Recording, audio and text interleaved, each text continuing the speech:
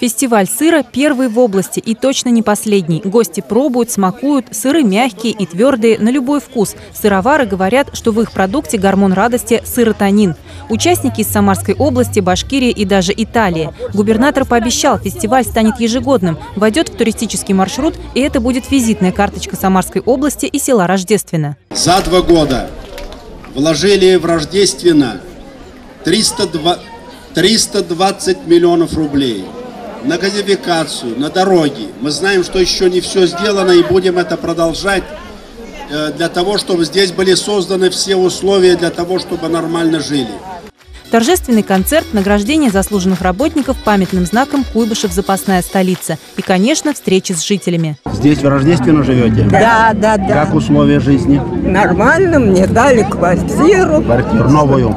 Да. Нормально. Все нормально. Она труженица, не знаю какая. У нее огород, не пылинки. Кроме того, губернатор ознакомился с работой нового водозабора, который обеспечивает водой сразу три села на правом берегу Волги, и принял участие в открытии нового здания пожарного депо.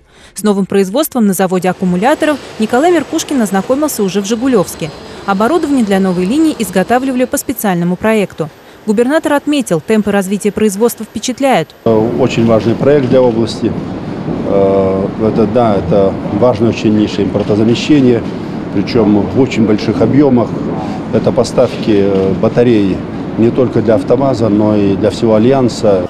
На встрече с жителями губернатор пообещал, все обращения будут взяты на контроль. В ближайшее время будет активно развиваться социальная инфраструктура. Сейчас ведется капитальный ремонт школ. На главной площади Жигулевска глава Самарского региона поздравил жителей с Днем города, наградил заслуженных и почетных работников. Олеся Корецкая, события.